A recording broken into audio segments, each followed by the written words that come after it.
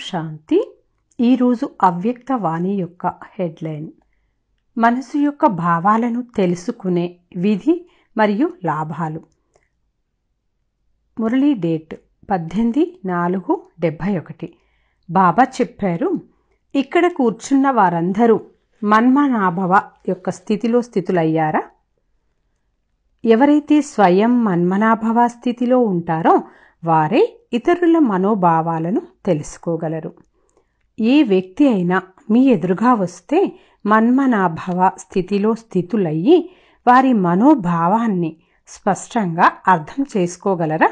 ఎందుకంటే ఎప్పుడైతే మీ స్థితి సూక్ష్మంగా మన్మనాభవగా ఉంటే ఆ సూక్ష్మ స్థితి సూక్ష్మ భావాన్ని గ్రహించగలదు.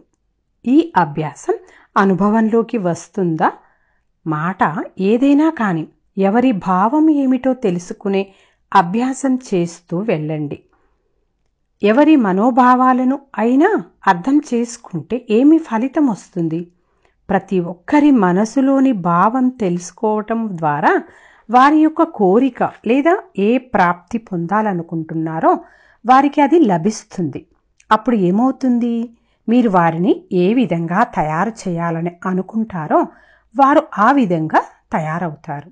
అనగా సేవలో సఫలత చాలా త్వరగా వస్తుంది. ఎందుకంటే వారి కోరికనుసారంగా వారికి ప్రాప్తి లభించింది కాబట్టి. ఎవరికైనా శాంతి యొక్క దాహం ఉందనుకోండి వారికి శాంతి లభిస్తే ఏమవుతుంది? ప్రాప్తి లభించడం ద్వారా అవినాశీ పురుషార్థిగా అయిపోతారు. కాబట్టి మనస్సులోని భావాన్ని పరిశీలించడం ద్వారా అర్థం చేసుకోవడం ద్వారా ఏమి పరిణామం వస్తుంది? కొంచెం సమయంలోనే సేవ యొక్క సఫలత ఎక్కువగా వస్తుంది. అంటే సఫలతా స్వరూపులుగా అయిపోతారు. ఇప్పుడు పురుషార్థ స్వరూపులుగా ఉన్నారు. ఈ లక్షణాలు రావటం ద్వారా సఫలతా స్వరూపులు అయిపోతారు. అర్థమైందా? ఇప్పుడు సఫలతను పొందేటందుకు మీ సమయము సంకల్పము సంపద శక్తి చాలా ఉపయోగించాల్సి ఉంటుంది. కానీ అప్పుడు ఏమవుతుంది? సఫలత తనకు తానే మీ ఎదురుగా వస్తుంది. సంపద ఉపయోగించవలసిన అవసరమే లేదు. సంపద స్వయంగా మీ ముందు స్వాహా అయిపోతుంది. అర్థమైందా? ఒక్క విషయాన్ని ధారణ చేయడం ద్వారా ఇంత తేడా కనిపిస్తుంది. ఆ ఒక్క విషయం ఏమిటి మరి? మన్మనాభవ. అయి ప్రతి ఒక్కరి మనస్సులోని భావాన్ని తెలుసుకోవాలి. ప్రకృతి దాసి అవుతుంది అని ఏదైతే మహిమ ఉందో అది సత్యయుగంలో జరుగుతుందా? సత్యయుగంలో అయితే అలా జరిగిందని ఆ విషయం తెలియనే తెలియదు. కానీ ఇప్పుడు ప్రకృతిపై విజయీగా అవ్వటానికి ఇంత పురుషార్థం చేస్తున్నారు. అలా ప్రకృతిపై విజయం లేదా ప్రాప్తి అనేది ఈ శ్రేష్ఠ జన్మలోనే చూస్తారు. ప్రకృతి మిమ్మల్ని ఆధీనం చేసుకోలేదు. మీరు అధికారులై ప్రకృతి యొక్క కర్తవ్యాన్ని చూస్తారు. అర్థమైందా? ఏ రకమైన ఆధీనత ఉండదు. అన్నింటిపై అధికారాన్ని అనుభవం చేసుకుంటారు. అదే సంపూర్ణ స్థితి. ఈ విధంగా తయారయ్యేటందుకు ఏమి చేయాలి? ఒకటి ఆత్మీయత రెండు ఈశ్వరీయ నశ. మీ ముఖంలో కనిపించాలి. మూడవది సేవలో దయా హృదయం యొక్క సంస్కారం లేదా గుణం ప్రత్యక్ష రూపంలో ప్రతి ఆత్మకి అనుభవం అవ్వాలి. మూడు విషయాలు ఆత్మీయత నశ మరియు దయాహృదయం అనే గుణం. ఈ మూడు విషయాలు ప్రత్యక్షంగా స్థితిలో ముఖంలో సేవలో అనగా కర్మలో కనిపించాలి. అప్పుడు సఫలత మాకు సమీపంగా వస్తూ ఉందని భావించండి. ఈ మూడు కూడా వెనువెంటనే కావాలి. ఇప్పుడు ఏం జరుగుతుంది? దయాహృదయులు అవుతున్నారు కానీ దయాహృదయులతో పాటు నష కూడా కనిపించాలి. రెండు వెనువెంట కనిపించటం లేదు. దయాహృదయము లేదా నష ఏదో ఒకటే కనిపిస్తుంది. కానీ నషాతో పాటు ఆత్మీయత కూడా కనిపించాలి. మూడు వెనువెంట ప్రత్యక్షంగా కనిపించాలి. దీనిలో అర్జునులుగా అయిన వారు తక్కువగా ఉన్నారు. అందరూ అభ్యాసీలుగా ఉన్నారు. ఇప్పుడు స్వయాన్ని అందరికంటే మహానాత్మగా భావిస్తున్నారు. కానీ మహానాత్మ అయ్యి ప్రతి సంకల్పము మరియు ప్రతి కర్మ చేస్తున్నారా? లక్ష్యంగా భావించి దాన్ని ప్రత్యక్షం చెయ్యాలి. సర్వాత్మల కంటే నేను శ్రేష్టాతి శ్రేష్టమైన మహానాత్మను ఈ స్మృతిలో ఎవరి ఎదురుగా వెళ్ళినా కానీ అందరూ ఏ విధంగా అనుభవం చేసుకుంటారు? మీ మహానత ముందు అందరూ శిరస్సు వంచుతారు. ఈనాటి కలియుగంలో గొప్ప గొప్ప పదవులు కలిగిన వారు కూడా మీ జడ చిత్రాల ముందు ఏం చేస్తారు? శిరస్సు వంచుతారు. చిత్రాల ముందు శిరస్సు వంచుతున్నప్పుడు చైతన్య చరిత్రవంతులు సర్వ గుణాలలో తండ్రి సమానంగా చైతన్యమూర్తిగా ఉన్నవారి ముందు శిరస్సు వంచరా? ఇది భవిష్యత్తులో లభించే ఫలితం అని భావిస్తున్నారా? లేక ఇప్పుడే జరగాల? ఎప్పుడు మరి? అంతిమానికి కూడా ఇప్పుడు ఎంత సమయం ఉంది? మీరు వంగి వారిని వంచితే గొప్ప విషయం ఏముంది ఇంకా? సేవ కారణంగా అక్కడక్క వంగ అక్కడక్కడ వంగవలసి ఉంటుంది అంటున్నారు కానీ ఈ లక్ష్యం పొరపాటు. ఈ లక్ష్యంలోనే బలహీనత ఉంది. బీజమే బలహీనమైతే మరి ఫలం ఎలాంటిది లభిస్తుంది? కొత్తగా స్థాపన చేసేవారు ఇలా ఆలోచించరు. కొంచెం వంగి చెయ్యాలని కొంతమంది ఆత్మలు కూడా అందరినీ వంగింప చేయాలనే లక్ష్యం పెట్టుకొని తమ ముందు వంగింప చేసుకుంటారు. ఆ రకంగా చేస్తే ఈ స్థాపన కార్యం ఎంత గొప్పది? మరియు ఎవరి మతమనుసారం ఉంది? వారి ముందు సర్వాత్మలు వంగవలసిందే. ఈ లక్ష్యం పెట్టుకుని ఈ ఈశ్వరీయ నశాన్ని ధారణ చేసి ఎవరి ఎదురుగానైనా వెళ్తే ఏమి ఫలితం వస్తుందో చూడండి. మహానత కొరకు జ్ఞానం యొక్క మహీనతలోకి వెళ్ళవలసి ఉంటుంది. ఎంతెంత జ్ఞానం యొక్క మహీనతలోకి అంటే లోతులోకి వెళ్తారో అంతగా స్వయాన్ని మహాన్గా తయారు చేయగలరు తయారు చేసుకోగలరు. మహానత తక్కువగా ఉందంటే జ్ఞానం యొక్క మహీనత యొక్క అనుభవం తక్కువగా ఉందని అర్థం. స్వయాన్ని పరిశీలించుకోండి. మహానాత్మల కర్తవ్యం ఏమిటి? ఇది స్మృతిలో ఉంచుకోండి. మామూలుగా కూడా మహాన్ కర్తవ్యం చేసి చూపించేవారినే మహానాత్మ అంటారు. మరి మహానాత్మల కర్తవ్యం కూడా మహాన్గా ఉండాలి? రోజంతటిలో దినచర్యలో ఇది పరిశీలించుకోండి. మహాన్ ఆత్మనైన నేను రోజంతటిలో ఏ మహాన్ కర్తవ్యాన్ని చేశాను? మహాదానిగా అయ్యానా? మహానాత్మలు దానపుణ్యాలు చేస్తూ ఉంటారు. కానీ ఇక్కడ మీరైతే అందరికంటే మహానాత్మలుగా పిలువబడుతున్నారు కాబట్టి ఈ రోజంతటిలో ఎంతమందికి నేను దానమిచ్చాను? మరి ఏం దానమిచ్చాను? మహానాత్మల భోజనము ఆహారము అన్నీ మహాన్గా ఉంటాయి. అదేవిధంగా ఈరోజు మా బుద్ధి యొక్క భోజనము మహాన్గా ఉందా అని చూసుకోండి. శుద్ధ భోజనాన్ని స్వీకరించారా? మహానాత్మగా పిలువబడేవారు అశుద్ధ భోజనాన్ని స్వీకరిస్తే అందరూ ఏమంటారు?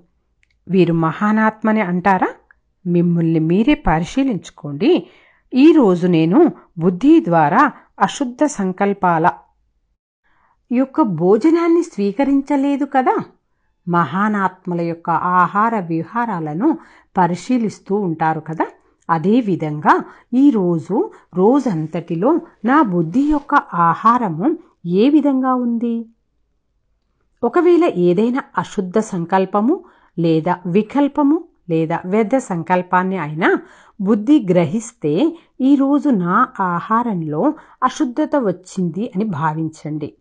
మహానాత్మల యొక్క ప్రతి వ్యవహారము అనగా నడవడిక ద్వారా సర్వ ఆత్మలకు సుఖం యొక్క దానాన్ని ఇచ్చే లక్ష్యం కలిగి ఉంటుంది. వారు సుఖం ఇస్తారు మరియు సుఖం తీసుకుంటారు. ఈ విధంగా మిమ్మల్ని మీరు పరిశీలించుకోండి. మహానాత్మను అయిన నేను ఈరోజు ఏ ఆత్మకు దుఃఖం ఇవ్వలేదు కదా? పుణ్యకార్యం అంటే ఏమిటి? పుణ్యమనగా ఎవరికైనా ఏదైనా ఇస్తే ఆ ఆత్మ మనస్సు నుండి మనకు ఆశీర్వాదాలు రావాలి. దానిని పుణ్యకార్యము అని అంటారు. ఎవరికైనా మీరు సుఖాన్ని ఇస్తే వారు మీకు ఆశీర్వాదాలు ఇస్తారు. ఇది పుణ్యకర్మ.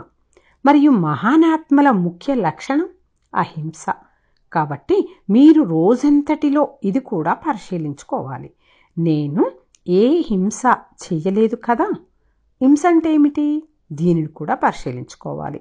మీరు స్వయాన్ని డబుల్ అహింసకులుగా పిలుచుకుంటున్నారు. డబుల్ అహింసకులుగా పిలుచుకుంటున్నారు. మనస్సులో మీ సంస్కారాలతో యుద్ధం కూడా చాలా జరుగుతుంది. మాయను చంపే హింస చేస్తున్నారు కదా అది యుద్ధమైనప్పటికీ దానిని అహింస అని ఎందుకంటున్నారు? ఎందుకంటే ఆ యుద్ధ పరిణామంగా సుఖము శాంతి వస్తాయి. హింస అంటే దాని ద్వారా దుఃఖము అశాంతి ప్రాప్తిస్తాయి. కానీ దేని ద్వారా అయితే సుఖము శాంతి ప్రాప్తిస్తాయో లేదా కళ్యాణం జరుగుతుందో దానిని హింస అని అనరు. కనుక మీరు డబుల్ అహింసకులు అయ్యారు.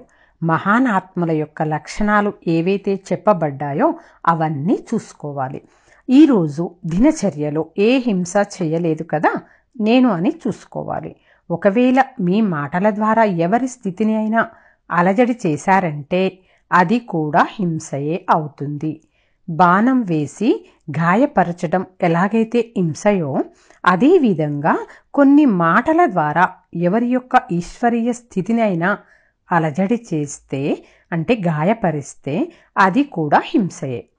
మీ యొక్క సత్వప్రధాన సంస్కారాలు లేదా ఆత్మ యొక్క వాస్తవిక ఈశ్వరీయ సంస్కారాలు ఏవైతే ఉన్నాయో అవి అణిచివేసి ఇతర సంస్కారాలను ప్రత్యక్షంలోకి తీసుకువస్తుంటే అది కూడా హింసగానే పరిగణించబడుతుంది. మీ వాస్తవిక సత్వప్రధాన స్థితి యొక్క సంస్కారాలను అణిచివేయడం కూడా హింసయే. అర్థమైందా? ఈ లక్షణాలన్నీ ఎంతవరకు మీలో ప్రత్యక్షంగా ఉన్నాయో పరిశీలించుకోవాలి.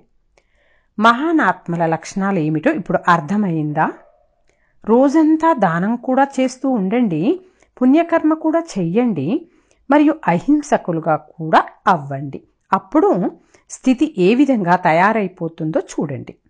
ఇలా మహీనతలోకి వెళ్ళేవారికి సంపూర్ణ స్థితిలో స్థితులయ్యే మహానాత్మల ముందు అందరూ తప్పక తల వంచుతారు. స్థూలమైన శిరస్సు వంచుతారా? శిరస్సు అనేది అన్నింటికంటే పైన ఉంటుంది. ఆ శిరస్సును వంచారంటే అన్ని వంచినట్లే. అదేవిధంగా ఈనాడు ఎవరినైతే అన్నింటికంటే తమని గొప్పవారిగా లేదా తమ కర్తవ్యాన్ని గొప్పగా భావిస్తున్నారో వారందరూ తల వంచుతారు. అనగా ఈ ఈశ్వరీయ కర్తవ్యం ముందు మా కర్తవ్యాలు అసలు ఏమీ గొప్ప కాదు అని అనుభూతి చెందుతారు. తమ శ్రేష్టతను శ్రేష్టంగా కాకుండా సాధారణంగా భావిస్తారు. అదే తల వంచటము దీనినే సర్వాత్మలు మీ ముందు తల వంచటము అని అంటారు. ఇప్పుడు అర్థమైందా? ఏమి పరిశీలించుకోవాలో? రోజంతటిలో మహానాత్మల యొక్క మహాన్ కర్తవ్యము లేదా లక్షణాలు ఏవైతే ఉంటాయో అవి ఎంతవరకు ప్రత్యక్షంలోకి తీసుకువచ్చాను? ఈ ఫలితం తర్వాత అడుగుతాను. ఇంతకు ముందు కూడా చెప్పాను కదా మీరు త్రిమూర్తి తండ్రి యొక్క పిల్లలు. మీ ద్వారా మూడు లైట్లు కనిపించాలి అని. అనగా మీ ఒక్కొక్కరి ద్వారా మూడు లైట్ల యొక్క సాక్షాత్కారం జరగాలి. అనగా ఎవరు మీ ఎదురుగా వచ్చినా ఒకటి మస్తక మణి కనిపించాలి. రెండవది మీ రెండు నయనాలలో రెండు కాంతివంతమైన బల్బులు వెలుగుతున్నట్లుగా కనిపించాలి. మూడవది మస్తకంపై ప్రకాశ కిరీటం కనిపించాలి. మీ ద్వారా ఈ విధంగా మూడు లైట్లు కనిపించాలి. కొందరికైతే అవుతున్నాయి కూడా. స్మృతి యాత్రలో కూర్చోపెట్టినప్పుడు రెండు నయనాలు రెండు ప్రకాశ గోళాల వలె కనిపిస్తున్నాయి. కొందరి మస్తకంపై ప్రకాశ కిరీటం కూడా అనుభవం అవుతుంది ఎప్పుడైతే ఇలా మీ ద్వారా మూడు లైట్ల యొక్క సాక్షాత్కారం జరుగుతుందో అప్పుడు ఏమవుతుంది? స్వయం కూడా లైట్గా అయిపోతారు. అనుభవీలే కదా? అనుభవీలే కదా అని అడుగుతున్నారు బాబా. సాకార రూపంలో చూశారు కదా? మస్తకం ద్వారా నయనాల ద్వారా పవిత్రత యొక్క ప్రకాశ కిరీటము అనేక మందికి సాక్షాత్కారం జరిగింది. అదేవిధంగా తండ్రిని అనుసరించాలి అలాంటి స్వరూపాన్ని మీరు కూడా అందరికీ సాక్షాత్కారం చేయించినట్లయితే సేవలో సఫలత అనేది మీ పాదాల ముందు వంగుతుంది. ఎవరు ఎవరి ఎదురుగా వెళ్ళినా కానీ వారికి సాక్షాత్కారం అవ్వాలి. అలాంటి మహానాత్మగా అవ్వండి. అప్పుడు చెప్పండి సాక్షాత్కారమూర్తులైన మీ ముందు వారు తల ఎత్తగలరా? వంగిపోతుంది. ఇక్కడ ఈ విధంగా శిరస్సు వంచితేనే మీ జడ చిత్రాల ముందు స్థూలంగా శిరస్సు వంచుతారు. ఎవరైతే ఎంతెంతగా ఎంతమందిని ఇప్పుడే శిరస్సును వంగింప చేసుకుంటారో అంతగా వారి జడ చిత్రాల ముందు అంతమంది శిరస్సు వంచుతారు. ప్రజలతో పాటు భక్తులను కూడా తయారు చేసుకోవాలి కదా? ద్వాపరయుగం యొక్క భక్తులు కూడా ఇప్పుడే తయారవుతారు. మీ భక్తులలో కూడా మీ ద్వారా భక్తి యొక్క అనగా భావన యొక్క సంస్కారం ఇప్పుడే నింపాలి. వీరు చాలా ఉన్నతమైన వారు. ఈ భావన యొక్క సంస్కారాన్ని నింపటం ద్వారానే వారు మీకు భక్తులుగా అవుతారు. కాబట్టి భక్తులను కూడా ఇప్పుడే తయారు చేసుకోవాలి. ఇప్పటి వరకు ప్రజలను తయారు చేసుకోవటంలోనే శ్రమిస్తూ ఉన్నారు. మీ స్థితి ఎంతగా ప్రత్యక్షం అవుతూ ఉంటుందో అంతంతగా మీ వారసులు అనగా మీ ఉన్నత కుటుంబం మీ ప్రజలు మీ భక్తులు ముగ్గురు కూడా ప్రత్యక్షం అవుతారు. ఇప్పుడైతే అందరూ కలిసి ఉన్నారు. ఎందుకంటే ఇప్పుడు మీ స్థితియే ఇంకా నిర్ణయం కాలేదు. అందువలన అందరూ కూడా కలిసిపోయి ఉన్నారు. ఆ తర్వాత ప్రత్యక్షంగా కనిపిస్తారు. వీరు నా భక్తులు అని మీరు అనుభవం కూడా చేసుకుంటారు. ఎందుకంటే మీలో త్రికాలదర్శి అనే గుణం ప్రత్యక్షమైపోతుంది. అప్పుడు మీ యొక్క మూడు కాలాల ప్రాలబ్ధాన్ని స్పష్టంగా చూసుకోగలరు. దివ్య దృష్టి ద్వారా కాదు ప్రత్యక్ష సాక్షాత్కారం ద్వారా. మంచిది. ఈ రోజుటి స్వమానము నేను మహానాత్మను. ఓం శాంతి